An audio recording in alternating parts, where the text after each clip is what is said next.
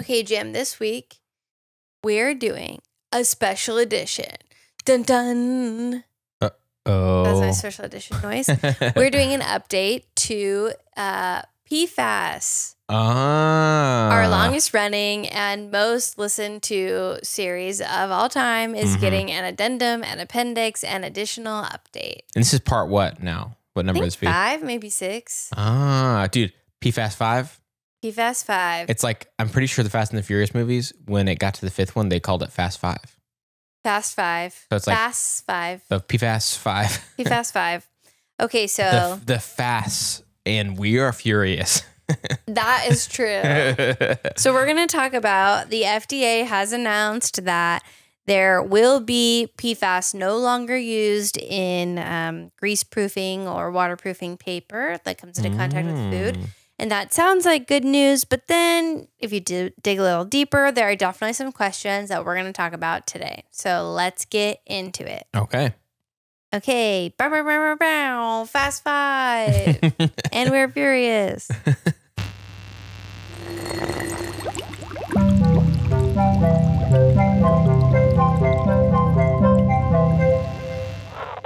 hey, I'm Melissa, I'm Jam, and I'm a chemist, and I'm not. and welcome to Chemistry for Your Life. The podcast helps you understand the chemistry of your everyday life at night. And your food wrapper, the chemistry of your food wrapper. So if you haven't seen uh, some of our more recent episodes, we record at night now, and we won't make this like what would you call it? Uh, prelude. Uh, An, an every every time intro. yeah, but just it's helpful for a few times maybe if you notice a more tiredness, a a sluggishness, a as we get used to it, we may seem a little different. Yanni. Mhm. but we will get used to it and so will you guys but we uh it's helpful to know that that's what's changed I just yawned like it was on cue. yeah we we are however not we are not less excited about No. talking about chemistry we're talking about a different time of day so you can understand Yeah. That it changes things a little bit It does change things a little bit. Okay, so for also for today, before we dig into it, do you want to do a, cu- a quick overview? We haven't done this in a while of like who we are and what we're about. i would love to why don't we start with me telling people about who you are Okay, let's do that. So Melissa, just moments ago, she said she's a chemist, and she was telling you the truth. In fact, she's a three-time chemist. Three-time award. Got her bachelor's, got her master's, got her PhD in chemistry. It's and uh, so when she talks about chemistry, she's here. She does a lot of research on each topic, teaches it to me. I'm not a chemist. I'm learning it for the first time along with you, and then I'm trying to learn it and retain it and say it back to Melissa. And that's what we're doing here. That's Dr. Chemist to you. I'm just kidding. Okay. Um, That's yes. doctor chemistry for your life to you. So that's Dr. Chemistry. So, yes, that's me. I'm a chemist, and Jam is not a chemist, and that makes this really fun. But the other thing that Jam has going for him, besides not being a chemist, is he is really good at sound. And so he is the reason for the crystal clear noise brought to your ears Mm. today. So, thanks for that, Jam. That's that's what I studied, and it happened to all work out that I knew how to do that, and Melissa wanted to start a podcast, and so we were like, And you wanted to learn science. mhm. So- So that's what we that's who we are and our goal is to make chemistry just like we said accessible and more easy to understand and interesting to everyone. So you're welcome here whether you're a chemist or not a chemist Mhm. or uh, just somebody trying to exercise and learn something while they're hanging out. and we have folks of all all across that spectrum that listen. So like, there are people who are chemists, people who are teaching chemistry who listen. They all there are also people who assign it who teach chemistry and they assign it to their students. Yep. listen to it. Uh, and there are people that are like me that just are interested in science. They don't work in it. They are not cur- currently like a, stu- a student anywhere. They just are interested in chemistry. And so, all people welcome. Everyone's welcome. Mhm. And hopefully have people who thought that they wouldn't like chemistry and then they listen and they do, which is what happened to me with 99% invisible. Mhm. I was like, design, boring. Then I Mhm. started listening. And if you thought you didn't like chemistry and then you listen to our podcast and you were like, actually, I guess I kind of like it, you played right into Melissa's hands because that's been her theory all along. That's my hope and my dream. Okay. Mhm. So now let's get into it. Okay. Oh, wait, one more thing. Sorry, there's lots of housekeeping kind of at the front of this. This episode is dedicated to our new Patreon supporter, John T. Woohoo.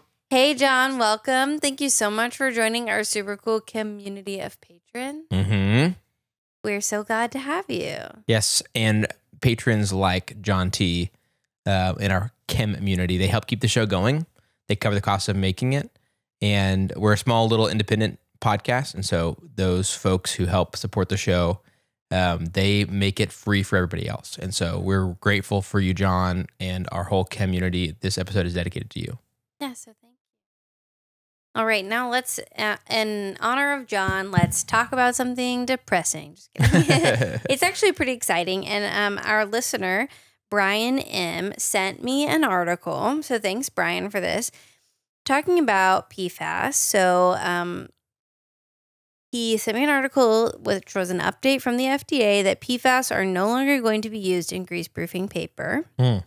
But like I said, I dug a little deeper and it made me ask some questions. So I'm going to talk about why the FDA decided this and then also um, what I think and what questions that this makes me ask right away. Okay. And maybe what questions you have too. Okay. So, yay, this is exciting.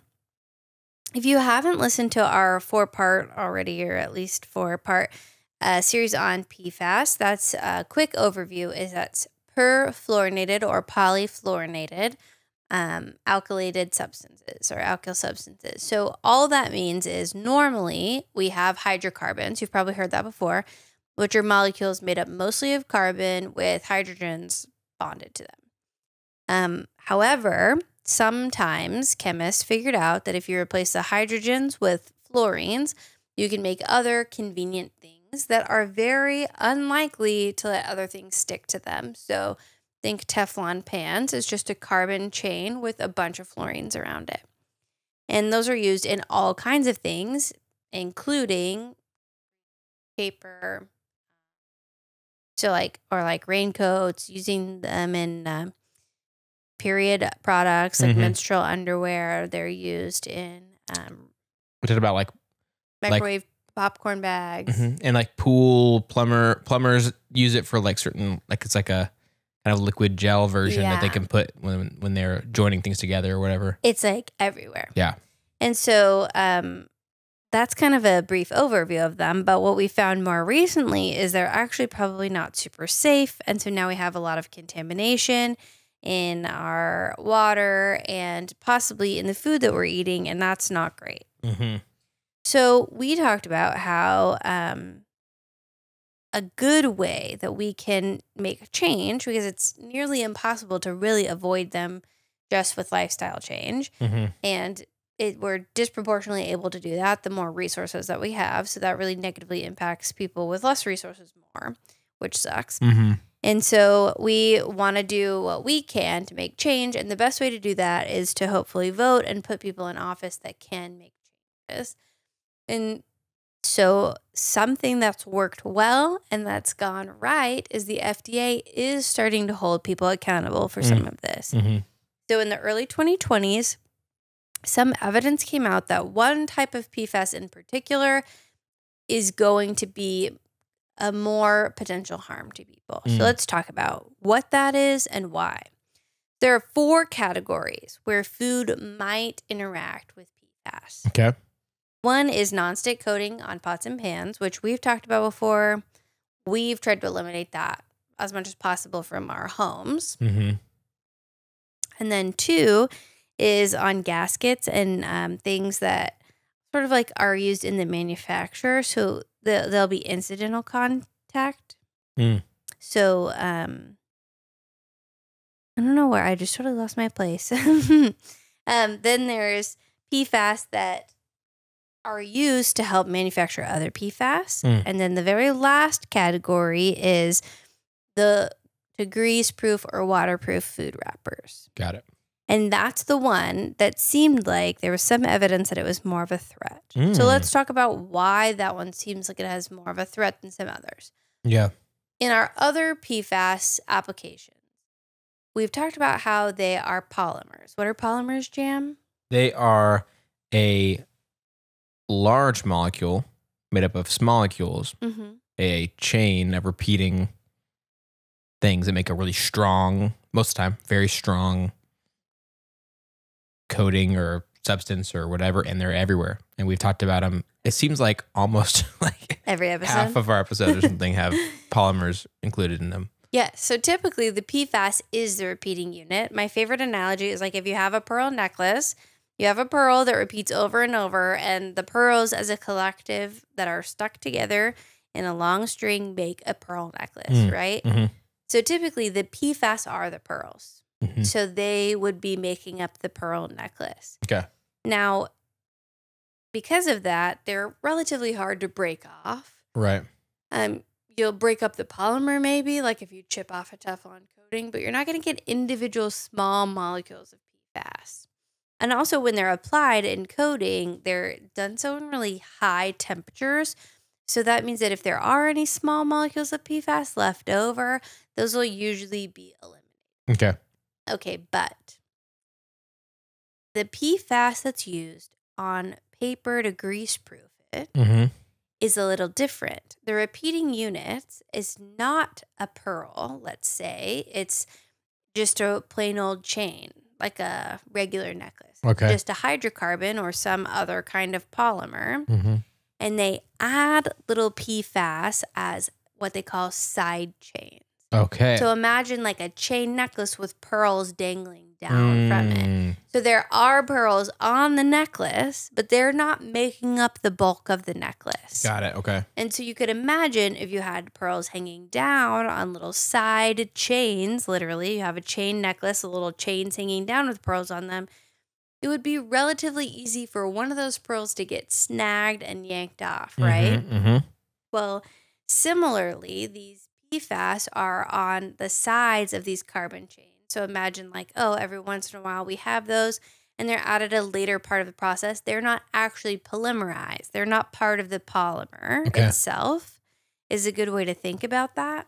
And so they're more likely to be able to sort of, uh, when they're exposed to heat, like when the food is added to them or whatever, those bonds could more easily be broken and contaminate our food that we're going to ingest. Got it. And those coatings are usually applied, those kinds are applied usually at lower temperatures. So all of the contaminants that were there to begin with that would be maybe like broken off with heat and been able to be eliminated in something like a pan, there's going to be more of those small molecules that are going to be more easily transferred over into our food. Got it. Dang. So that's your chemistry lesson for today. Okay. It's just a different type of PFAS. Mm-hmm. And so the FDA was like, uh oh, not good. We're getting rid of these. So they made um, anyone who was still using them promise to eliminate them by a certain time. And Mhm. as of the very last day of February, I think, it's officially happened. Wow. There's that no means- more PFAS.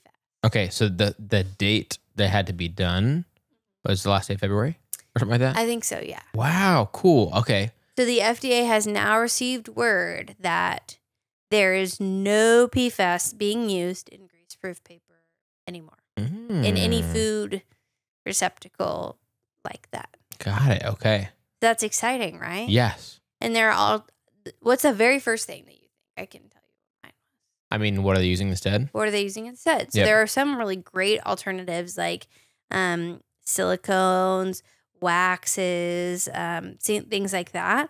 But the exact same problem that we talked about with BPA, where they just used bisphenol A, they s- which is BPA, they switched to bisphenol S, BPS, and now they're like, oh wait, this might do the same thing. Mm-hmm. We don't know what they're using Right. instead. Right. And so, for most of the alternatives, there are really good ones, and those companies are being transparent about that. But most of the companies are citing, like, it's so competitive to make non PFAS grease proof paper that we can't just be sharing what we're doing. Mm. And so, my initial thought is, yay, I'm so glad that these have been eliminated. Mm-hmm. And I'm very concerned about what they're using now. Yeah. And so I think that brings us to the next thing that is really important, I think, in keeping us safe from the chemicals that we come into contact with every day, some of which are perfectly fine and some of which are perfectly questionable, is transparency. Mm-hmm. And we've talked about this before about how we think that household chemicals should have to have an ingredients list similar to what we have on our food. But unless there's support for that in the public, it's not going to get done. Mm-hmm. So I think another thing that we really need to push for is transparency in the coatings that go on things that touch our Yep. and transparency in general in the types of chemicals that people are using for things that are going to go into our homes. Like, we don't know what, for example, um, paper plates that have that like sort of glossy, waxy coating. Mm-hmm. We don't know what that is. And we sell it at the store and we could take it in our home. And that's concerning to me. I think there needs to be more transparency and more independent tests to determine the safety of things. And Yeah. so, It's weird because there are some things, obviously, where for, for a long time we've had to list the ingredients of it. But like, I think if it's a household cleaning spray or something like that, any of those things, if it's like in a liquid, it's a bottle, they have to list what's in there, right? They have to list the active ingredients, but that can be a really small portion. Ah, okay. There you go. and that makes it where they do sometimes there'll be like greenwashing where it's like, oh, Mhm. this is a cleaner alternative of something. But it really isn't. It's Yep. just like they change one little thing. you know? Yep. And Right. so there's a lot of things that we don't have good transparency and Things that I've been like, what is this? And Mhm. gone to look and couldn't find it Yeah. in my home. Man. Yeah, that's very weird when you think about it. Yeah. It's almost like they have something to hide. I'm not saying they do. I'm just saying it would be the kind of thing you would do if you didn't want people to know what was in your thing. Yeah. And if you didn't would be. mind, then it seems kind of like you would be fine telling people what's in it because it's uh, all good and there's nothing harmful Yeah. in there. So just saying. And it's hard because my instinct is it feels kind of bleak because it's Mhm. like who's making this? What are they doing? They're hiding behind these industry secrets. It's so competitive, whatever. Mhm. But I don't think we need to be discouraged because the FDA is doing what we wanted to. This is the second thing now. They've also come back on um, diphenhydramine. No, not diphenhydramine. That's Benadryl. What's the one that's Oh, yep. Yep. I know you're talking about. not about. pseudoephedrine, but the other one that doesn't work? Dang, I can't remember. Neither can I. But so they they're doing things that we want them to do. So the thing that we can do is that's a big win for the FDA, I Mhm. think. So the thing that we can do is continue to put people in office who are going to support the FDA and scientific research to really try to make positive changes and to hold industry to a higher standard and keep us safe as a whole people because Mhm. individually we can do things where we decide we're not going to use this in our house but that's to some extent it's if unavoidable if it's getting in our water supply Right. and again that's really only an option for those of us who have more resources so Yeah. I wanted to talk about this and say, yay, I am very excited about that. I'm excited for this space it's making for people who are really trying to innovate well Mm-hmm. and who are making biodegradable options, who are making um, things that we know are bioinactive, so like silicones are safer, who are trying to make more one time or less one time use options, but does leave me with questions. Mm-hmm. Mm-hmm. So I just wanted to talk about that. Yeah. Another PFAS episode. I don't have good answers. I feel like we're back into the gray, but Mm-hmm. that's something I wanted to touch on. Well, maybe it's that's a good precedent where it's like, okay, if scientists are testing these things once they're out in the world and they are able to say, listen, here's what we found, here's what this looks like, here's the things that we've consistently found that these seem like they break off and could be getting in the food and blah, blah, blah. And if it's like we have in the past banned certain ones and we've gotten a good habit of that, then maybe it's the kind of thing we're like, okay, right, we believe you, we'll do it again, you know, and maybe we get good at that because if we do it a few times, maybe corporations get the picture where it's like, okay, I'm not going to switch to another PFAS.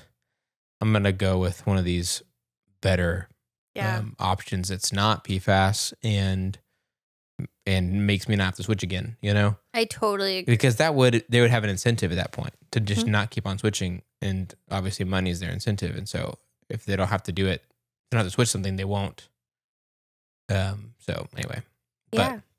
here's us a very small local to us uh win on the on team no PFAS. So after our series hmm or you know the after the series we sort of paused it knowing that it was the story was not over but we paused it for a bit. I was uh, explaining kind of giving some cliff notes of it a little bit to our friend grant.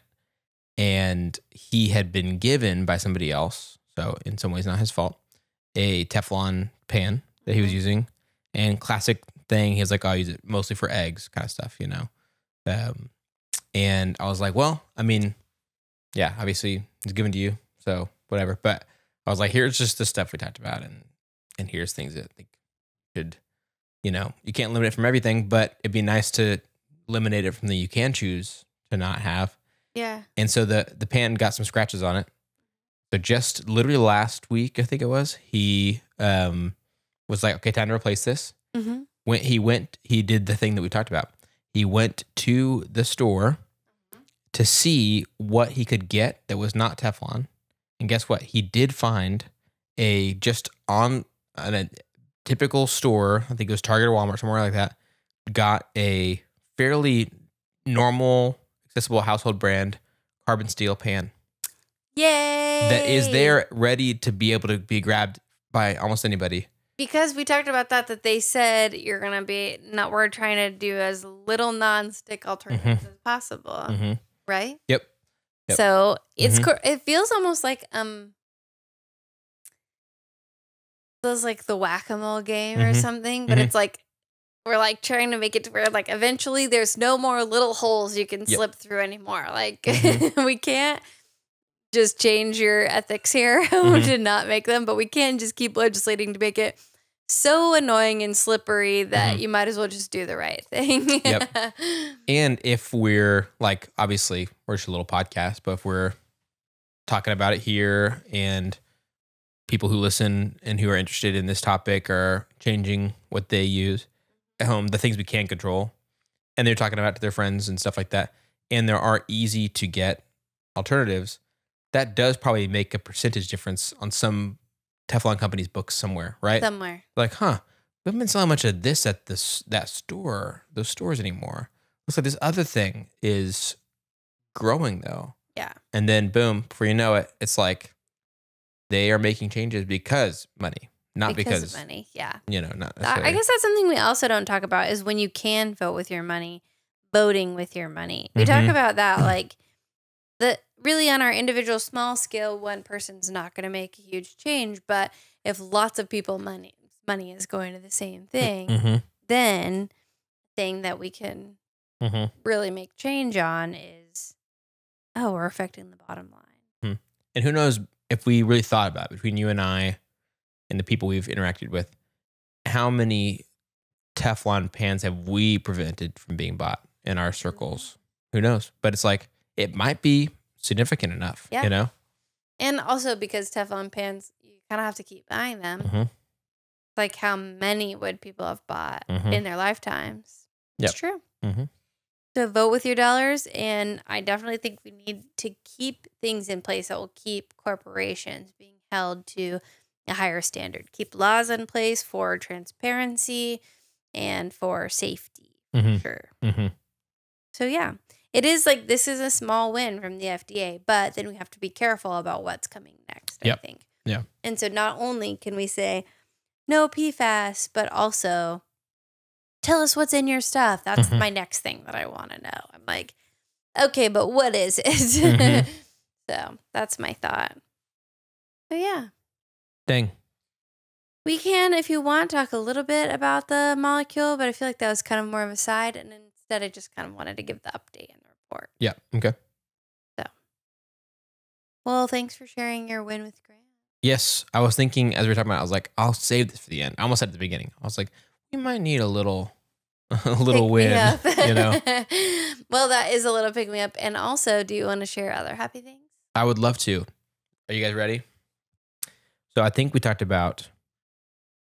Uh, did we talk about morning routine stuff last time, or was that in we a community? about that in a chem Okay, there's a little plug for our Chem Community exclusive secret podcast for people who are part of our Patreon Chem Community. like John T is now. hmm where we talk about non-chemistry things and hang out as friends and talk about stuff in our lives. Um, so I talked a little bit about the changes to my morning routine. One of those things, just you know, giving you a, as a little bit of it, um, is that I started getting back into running, and I've been having problems. And you know, could be that I'm getting older. It could be that I took a very long break from running and I'm trying to get back into it. My body's confused Why not both? or both. But I'm having specifically midfoot problems. Oh Um, no, like which I- your arch. yes, or lack thereof, because I don't have one, um, or don't don't really have one, uh, because my feet are flat as skis and they always have been. But I so I was looking into that and I was like, this is weird. I didn't. It wasn't just like the first week kind of thing. You know, it was like I could see how this is persistent problem, and um, I was looking into some stuff and I am testing. Okay, we're Okay. we're all scientists in a way. Little scientists inside all of us. We all have one inside of us, exactly. And we should approach things scientifically wherever possible, right? I am testing um, using zero drop, very thin soled shoes. Um, sometimes called barefoot shoes, which is confusing because they are still shoes, and so your feet are not bare. But anyway, for people who, it can, for all sorts of people, it can be helpful. But what I found that was recommended for me to at least try it was that for people who have flat feet, um, your feet are still going to be flat, but sometimes what ca- can happen is just the muscles in your feet are um, need to be strengthened. And if I have been getting certain shoes that feel better for my flat feet, it is possible that I'm kind of keeping my feet weaker in the in the areas where You're like supporting it so the muscle's not working. yeah something like that and i'm this is where i'm like all right i'm not gonna just try to become an expert in it i'm like i'm gonna try something Feels like a crutch instead of strengthening the muscle. Yep. Mhm. like you're you're relying on the crutch instead of healing the broken foot or whatever. exactly Okay. exactly yes very good example um and one of the things people say is even if it's you know like still gonna be a process but like one of the things that people who have switched to very thin soled shoes for running have found is that it just forces them to change their foot strike while they're running Yeah, my brother was running like half marathons barefoot for Mhm. a while. Mm-hmm. So I'm not gonna go full that obviously, but um, I just don't. I don't need. I don't feel like I need to, but I do need something to change. So like, I'm doing these shoes. It's supposed to help you naturally adjust your foot strike and also strengthen your feet at the same time. But it's kind of hard when you have been running before and you're used to certain things to just like change how you run. You know, Yeah, like if it's the way I'm running, the way my foot's striking the ground that's sort of causing the problems. Like I don't know how to like change it, you know? yeah. So anyway, trying that. It's been interesting. I'm wearing those shoes right now. Um, and if any of you who are listeners have experience with this stuff and this topic or are just interested, message us. I'll tell you more, but I will not go too deep into the nerdiness or talk about brands and advertise them uh, uh 'cause they're not sponsors of the show. I support that. Yeah. No, not a sponsor. Yeah. Okay, well, I have something similar. Okay. Um, well, not really, I guess similar, but um, similar to what we were talking about in the episode of like voting with your money Mhm. where you can. And listen, I know this is not possible for everyone, Mhm. but I learned about eggs and I knew this before, but I like there's a picture. Did I already talk about this? I don't think so. There's a picture that was crazy to me, and it's about it's about um chickens. Okay, Oh, and yeah. um like farm raised versus cage free versus Mhm. free range. Okay, so it was like this this picture that's like a circle, Mhm. and it's like you know cut into 6th Mhm. Okay, so like imagine a pie cut into sixth, and inside the pie there's a very small circle, and there's like tiny, tiny compared to the slice of pie that you have. Mhm. And they're like, this is the circle of what caged regular eggs that aren't labeled as anything are. And it was like very small. And then barely bigger than that, like not even double, is cage free eggs. And then a little bit bigger than that, like maybe double from the cage free eggs, is free range eggs. hmm And the first two levels of eggs, the chickens never see outside Mm. Ever. Mhm. And then in free range eggs, the chickens see a little bit outside. Mhm. And then there's pasture raised, which gets the whole piece of pie, and the pie regularly rotates around the circle so that these pasture raised eggs or pasture raised chickens are always getting, they're always getting to see a light and they're getting to range in different pastures and they get this whole piece of pie to themselves to Mm. go outside. And my friend who used to raise chickens told me about that, and I was like, "That's so interesting." Yeah. And it and she showed me this picture, and it made me like have such an impact on me because I thought like how much happier and better my body is when I'm not under stress. Same thing is probably true for these chickens, Mhm. and so these eggs are probably just like higher quality, better for my body. So I tried it, and um, they're like a totally different color Huh. It's kind of crazy. They're like this beautiful amber yolk instead of like a pale one. It's Mhm. wild. Huh.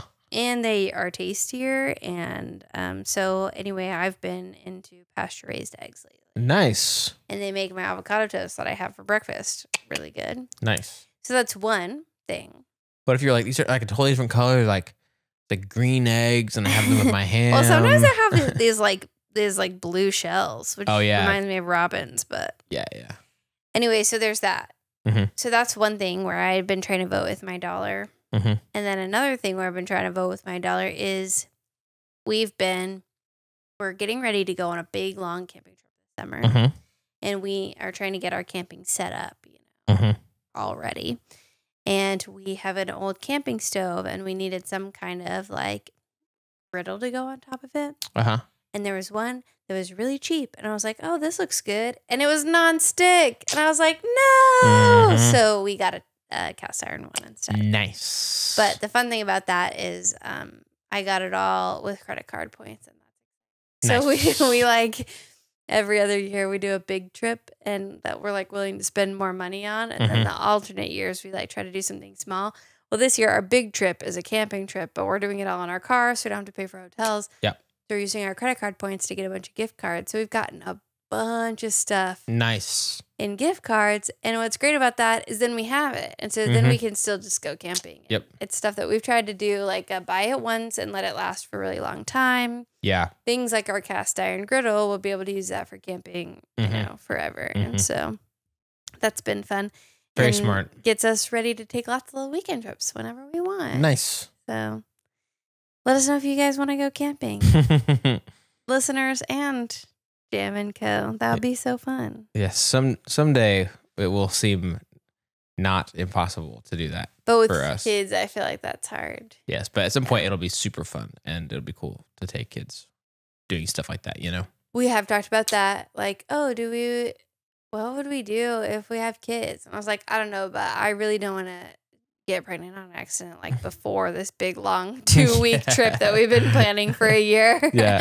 so, um, whatever we do, if they come on trips at some point or not, being pregnant on that trip seems like it would be miserable because we sleep in our car and that's Mhm. pretty small. Mhm. So, um, because of bears, I don't want to sleep in a tent. Mm.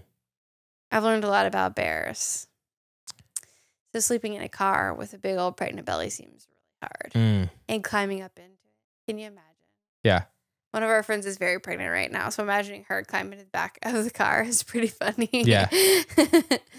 so, yeah. That's what those are my fun things. Nice. Been going camping and eating good eggs. Nice. Mm. Good eggs. Good eggs. You're a good egg. Well, very cool. And so are our listeners. Yes, nice transition. Well, thanks for teaching us Uh, yeah. about PFAS and adding another chapter to it, even though, as we said before, it is sort of sad to learn about, but it's good to learn about. So thank Yeah. you. Thank you for doing the research. And thanks for listening and to Brian for Yes. sending it. hmm And yeah, thank you, Brian. And if, and for you, if you have a thought or question or idea, a follow up question, a correction, something like that, want to send to us, please do. You can do that on our website at chemforyourlife.com. That's chem, F O R, yourlife.com. Just share your thoughts and ideas. That help us keep our show going and contribute to cover the cost of making it, like John T did. You can join our super cool chem community of patrons on patreon.com slash chem for your life. It's patreon.com slash chem for your life to join our super cool chem community of patrons and get some perks, get to hang out with us, get to know us a little bit better. Uh, if you're not able to do that, you can still help us by subscribing in your favorite podcast app, rating, writing, review on Apple Podcasts, and also subscribing on our YouTube channel. Those things help us to share chemistry with even more people. This episode of Chemistry for Your Life was created by Melissa Collini and Jam Robinson. Jam Robinson is our producer, and this episode was made possible by our community over on Patreon. And it really means so much to us that you all make chemistry accessible to even more people. And I want to shout out especially John T. Welcome to the list, John, as well as Avishai B, Bri M, Brian K, Carol R, Chris and Claire S, Chelsea B, Derek L, Elizabeth P, Emerson W, Hunter R, Jacob T, Kristina G, Katrina H, Letila S, Lyn S, Melissa P, Nicole C, Rachel R, Sarah M, Steven B, Shadow, Suzanne P, Timothy P, Venus R, Radioactive Dreams, and Cullyn and Jeannette. So thank you all again for everything you do chemistry for your life happen. And I also want to shout out Bri, who often makes illustrations to go along with episodes of Chemistry for Your Life. You can see those on our YouTube channel, and you can support Bri on Twitter and on her website, which you can find in our show notes. And if you'd like to learn more about today's episode, you can check the references for this episode in our show notes or in the description of the video on YouTube. Yay, chemistry! Yay, chemistry. Boo PFAS.